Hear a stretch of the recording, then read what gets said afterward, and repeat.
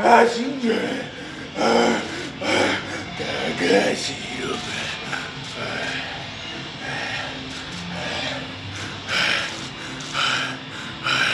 高橋宏おめえだけやおめえだけやおめえだけやな許さないもんだろありがとううわ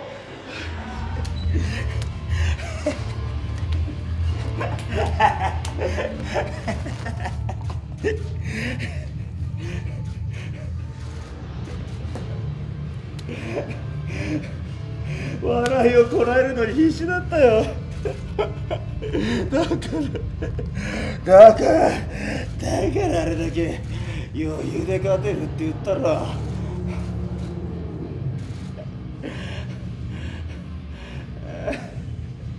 入場は予想できなかったけどそれ以外は予定通りだよ。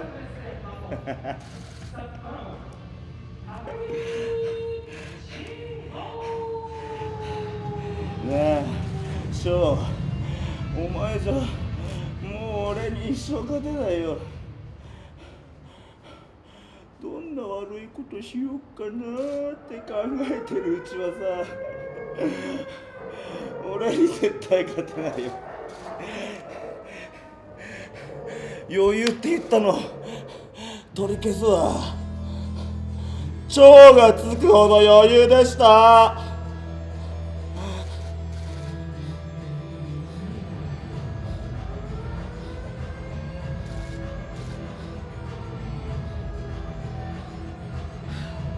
翔今のお前には絶対負けない。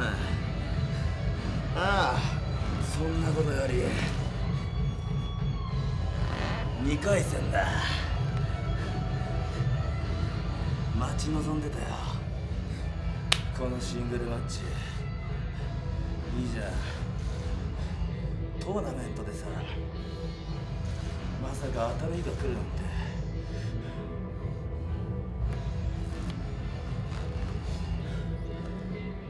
の頃が懐かしいな。そういえば昨日放送してたみたいだね。ビフォーアフター？懐かしいな。決していい思い出じゃないんだ。あなたとの思い出って。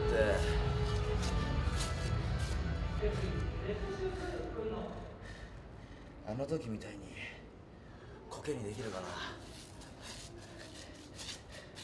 今と俺と鈴木さん。どれだけの差がついちゃったんだろうね。もちろん俺は勝つ気もなんだよ。